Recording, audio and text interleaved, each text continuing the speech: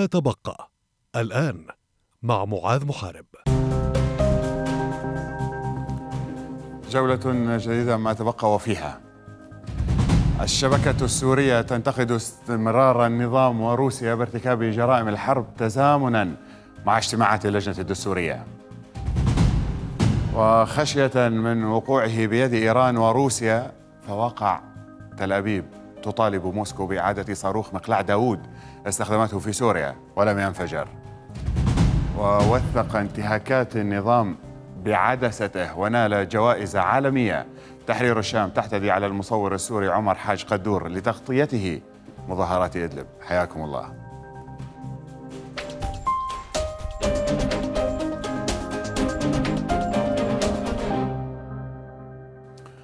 وثقت الشبكة السورية لحقوق الإنسان أبرز انتهاكات الأطراف المشاركة. في اللجنة الدستورية خلال الأسبوع الأول لجلساتها.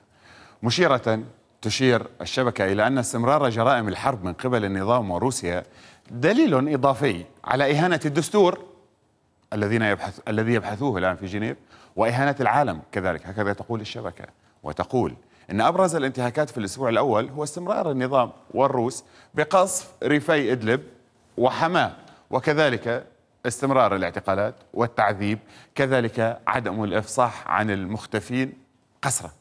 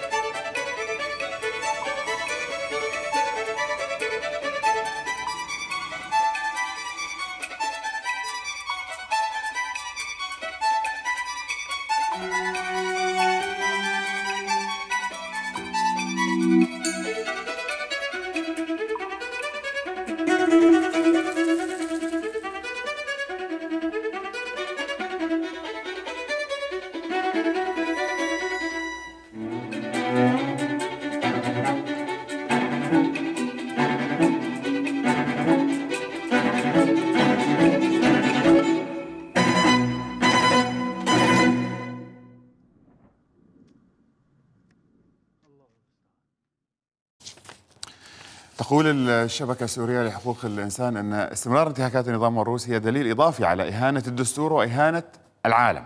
عموما معنا عبر السكايب من الدوحة مدير الشبكة السورية لحقوق الإنسان الأستاذ فضل عبد الغني. أستاذ فضل مساء الخير. مساء النور شكرا على الاستضافة. حياك الله. وثقتم الانتهاكات خلال الأسبوع بالتزامن مع اجتماعات اللجنة المصغرة الآن يعني في في جنيف. هل هناك من خلال توثيقكم هل هل يعني هل آه، تبين معكم أن النظام تقصد تكثيف هذه الانتهاكات مع بدء الاجتماعات في جنيف أم لا هي ضمن السياق الانتهاكات الطبيعية معدلات النظام الطبيعية؟ لا هو ضمن السياق العام وهذا دليل استهتار كامل ليش؟ لأنه هو ما ما ما لا يأبه إنه صار في مناقشة دستورية، صار في جولات بجنيف، هو شو يعني مفهوم المناقشة الدستورية؟ مفهوم المناقشه الدستورية هي مرحلة متقدمة وهذا الرسالة اللي عم يحاول يوصلها التقرير، يعني بعد ما بتنتهي المفاوضات وبيعدوا الطرفين بيوصلوا إنه خلال لنصيغ وثيقة مش سوا، هذا ما اللي صار، اللي صار إنه الشغلة بلشت بالمقلوب، يعني لا النزاع وقف بسوريا لا الهجمات ولا القصف ولا عمليات التعذيب. ما وقف شيء عمليا.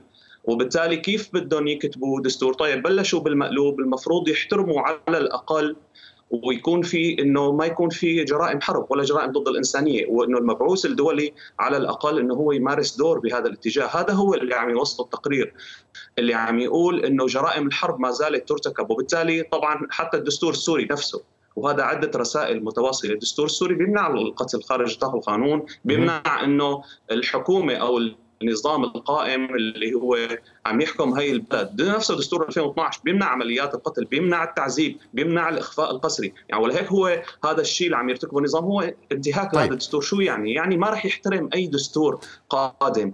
طيب. ونحن كدور بالمجتمع المدني بدنا نراقب هي العملية. طيب سنأتي عليها هذه أستاذ فضل. أرسلتم نسخة من هذه الانتهاكات إلى جير بيدرسون مثلا؟ طبعا أرسلناها إلى مكتب المبعوث الدولي بس مكتب مكتب المبعوث الدولي وأيضا للدول أيضا المشاركة بهذا المسار. يعني و واللي هي عم تدعم هذا المسار. هي مو بس يعني هو المسار انبثق عن مؤتمر سوتشي وهي مرجعية لماذا كان الرد؟ بس بعدين بعدين ما في ردود لحد الآن. بس نحن آه، يعني تواصلنا وأرسلنا إنه هذا نحن هي وجهة نظرنا. نحن يعني كمجتمع مدني مو بس إنه بيجيب منظمات ما بنعرف نحن كيف تم انتقائها. هدول دول 50 شو المعايير؟ فيهم ناس ما أي طيب أستاذ فضل. حقوق إنسان ولا شيء. أيوة. فنحن دورنا كمنظمات إنه نراقب هاي العملية اللي عم تجري. مم. سوف آتيك على هذه مسألة المجتمع المدني وهل راسلتموهم؟ الآن آه، مكتب ال ال يعني جير بيدرسون الأطراف الدول الكل آه، راسلتموهم ولم يجب أحد. هل هذا الكلام صحيح؟ نعم لأنه أعتقد إنه ما راح يتم يكون في إجابة بنفس اليوم ربما يكون في نقاشات بالأيام القادمة. ونحن رح نستمر بالتوازي مع هاي الاجتماعات نستمر نراقب شو عم يصير من ارتكابات ومن جرائم. نحن وهيدا التقرير نحن حصرناه بس بالأطراف المتفاوضة. يعني ما سجلنا انتهاكات ما في ما ورد بهذا الأسبوع انتهاكات للتحالف الدولي أو قسد أو آه، قوات نبع السلام وما إلى ذلك. فقط محصورة بالنظام وبقوات المعارضة وبالتالي هي الفترة ما ما لاحظنا فيها انتهاكات من قبل قوات المعارضة ارتكبت عمليات قصف أو قتل أو طيب. آه يعني آه لمناطق النظام آه بهي الفترة ربما بالفترات القادمة نسجل يعني. طيب أرسلتم نسخة إلى جماعة المجتمع المدني في جنيف؟ نحن أصلا ما بنعرف آه، يعني بالضبط آه، آه، المنظمات المشاركة وعناوين الاتصال إذا هي مشمولة بالقائمة عندنا اللي هي بتشمل حوالي 60 ألف إيميل وبريد إلكتروني. أعتقد بعضهم موجود وبعضهم يعني في تواصل أيضا مسبق لكن أكيد مو مو الجميع هن موجودين بالقائمة. بس يعني الرسالة وصلت بشكل أو بآخر بنتيجة تغطية وسائل الإعلام وصفحات التواصل لهذا الموضوع وأيضا نتيجة أنه هذا الموضوع نحن رح نحاول أنه نطبع التقرير وأنه نبعث منه نسخ مطبوعة للمشاركين بالمسار جنيف الحالي.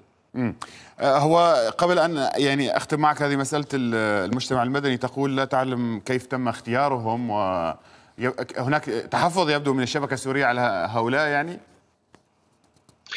يعني نحن عندنا شيء اكبر تحفظ أكبر من من من فقط هي الجزئيه، هي جزئية يعني وهي إجت بسياق الحديث لكن رؤية الشبكة السورية لحقوق الإنسان إنه هذا المسار هو بيخالف وبينتهك آه، قرار 2 2 5 4 لأنه ونحن أول ما استلم المبعوث الاممي بعثنا رسالة قلنا له إنه المبعوث السابق ستيفان دي مستورا وأنا حدثت معه يعني عدة مرات. آه، هو قلب العملية الدستورية لستيفان دي مستورا فطلبنا من المبعوث الجديد إنه يعني قلب العملية السياسية طلبنا إنه هو يرجع السياق يعني هيئة حكم وأنتم أشرتم في هذا الأمر في تقريركم يعني لمسألة إنه هيئة الحكم الانتقالي يجب أن تكون سابقة على الدستور. طبعا سابقة مرجعيتها وليس إنه تبدأ بالعكس وكمان الأهم إنه الأهم هو آه، كيفية كتابة وتشكيل الدستور ربما يوازي المادة نفسها اللي المخرج نفسه. كيف تمت هي العملية؟ وكما أشرت النقطة الأهم إنه لازم إنه تقريبا بيكون النزاع انتهى والجرائم الحرب والجرائم ضد الإنسانية وقفت وبيقعدوا الطرفين وبيصيغوا اتفاق. طب هذا آه، وين وين انتهت والنظام عم يقصف مشافي والناس عم تموت تعذيب وعمليات الاعتقال مستمرة مثل ما عم يشير التقرير. طيب بدأتوا على الأقل لازم تمارس ضغوط أممية ومن قبل مكتب المبعوث إنه هاي يتم إيقافها وخاصة من قبل الروس اللي هن يعني المعنيين بشكل أساسي. ليش؟ لأنه هي اللجنة الدستورية هن مرجعيتها. هذا المسار اللي هن بدهم اياه وهذا سوتشي والطائرات الروسية عم تقصف. فهذا عدة رسائل آه، مو مو يعني بضمن هذا التقرير ونحن آه، يعني بنتعهد إنه نحن نستمر بمراقبة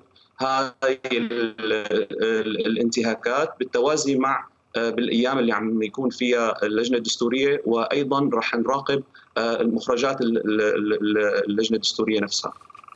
طيب أنتم مستمرون في المراقبة وإذا استمر النظام الروس آه، بفعلهم يعني بهالقصف بالانتهاكات بالتعذيب بالاعتقال آه، هل تعتقد يعني أن المسار أصبح عبثيا بالجملة؟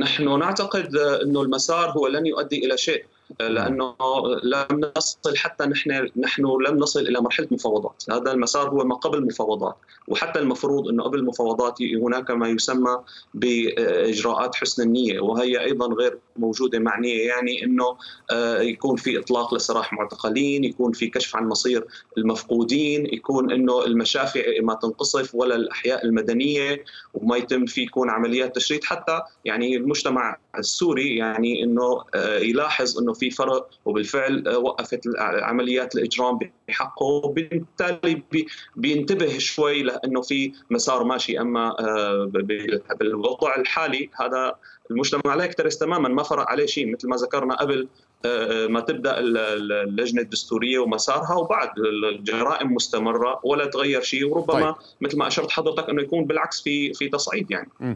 قبل أن أختم معك أستاذ فضل عبد الغني، هذا التقرير أرسلتم منه نسخة إلى الوفد المعارضة هناك في جنيف؟ أغلب الوفد المعارض هو موجود ضمن آه، القائمة البريدية وبالتالي وصله نسخة باللغة العربية والنسخة الإنجليزية ونحن بنتمنى إنه هو يكون في استفادة من هذا التقرير باعتبار إنه هذا ما تم تسجيل انتهاكات للمعارضة بهي الفترة. ربما التقارير القادمة لا نعلم يعني آه، هناك ربما عمليات قصف على أحياء في حلب يتم التحقيق منها. وبالتالي ربما يكون في استفادة من المعارضة إنه هذا خاصة بوجه الروس ووجه نعم. النظام ويتم استثماره إنه تتوقف هاي وأنا ما بعرف إذا هن طالبوا بهذا الشيء أصلا المفروض نعم. إنه يكون في مطالبة إنه نحن نناقش الدستور إنه توقف جرائم الحرب والجرائم ضد الإنسانية اللي النظام عماله يرتكبها مدير الشبكة السورية لحقوق الإنسان فضل عبد الغني كنت معي عبر سكايب من الدوحة شكرا جزيلا لك قال موقع التايمز اوف اسرائيل قال إن روسيا وضعت يدها على صاروخ من منظومة الدفاع الجوي الاسرائيليه المتطورة مقلاع داوود الذي سقط على الأراضي السورية في أول استخدام آه، له في صيف 2018 إسرائيل اعترفت في تموز من العام الماضي بتجربة صاروخين من هذا النوع بفشل وبفشل أحدهما وإصابة آه، أحدهما. يوم فشل التجربة أبدت إسرائيل خشيتها من حصول روسيا وإيران على أسرار هذا الصاروخ وإنتاج ردع له يقوض قدراته التكنولوجية. خايفة إسرائيل من تقويض آه، قدرات مقلاع داود التكنولوجية.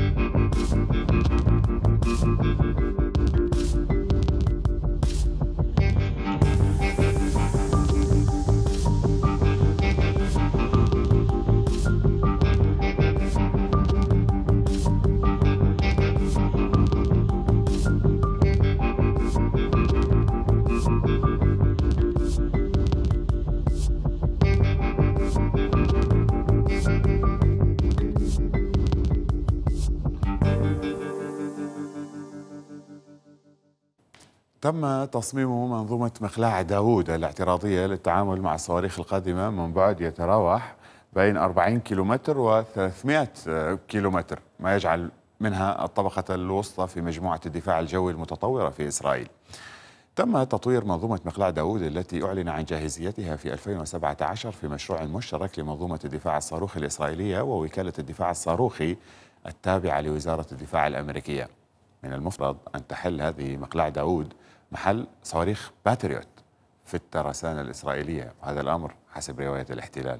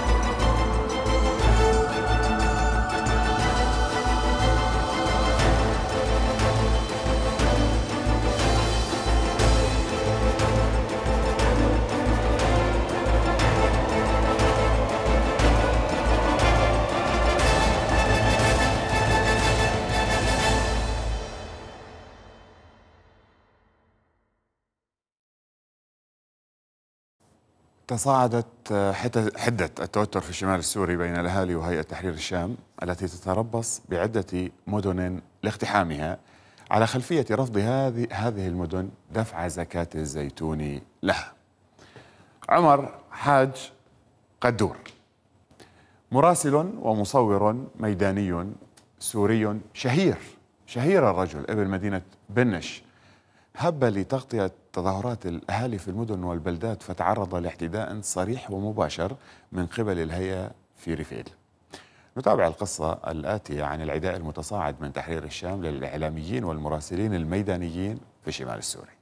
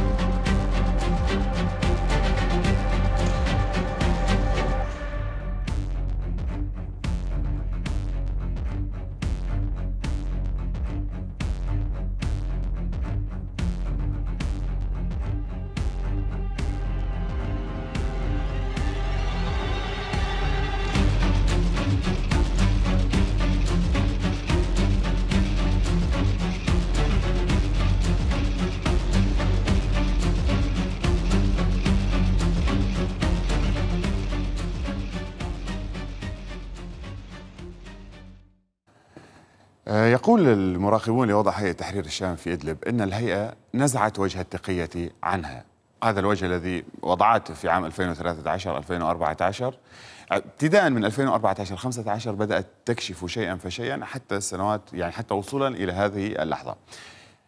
آه، أيام الزمان الزمن الجميل آه، للخليفة الفاتح وأحفاده في إدلب كان كانت الهيئة تتعامل مع الصحفيين باحترام شديد وهذا الأمر آه، وقت وقتها تمكنت الهيئة من خداع عدد كبير من الصحفيين من أجل تلميع صورة الخليفة الفاتح وتلميع آه، ما يقوم به وفعلا آه، وقع الكثير من الصحفيين السوريين والعرب وغيرهم يعني وقعوا في مسألة يعني إعطاء الهيئة ما ليس لها ونسب للهيئة ما ليس لها.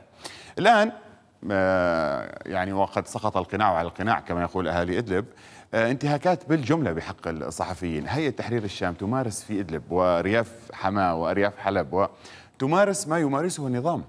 بالضبط. تضييق هم آه، لا أريكم الخليفة أبو محمد الفاتح لا أريكم إلا ما أرى وأهديكم آه، سبيل الرشاد. آه، يريد له أصلا له مؤسسات إعلامية تنطق باسمه تطبل له آه، تمجد آه، من أفعال الهيئة وكذلك له مجموعة من المناصرين. هم ما يعرفون يعني بالذباب الإلكتروني تقريبا لكن لهم حظوة. ومتابعون على تويتر تحديدا على التليجرام كذلك.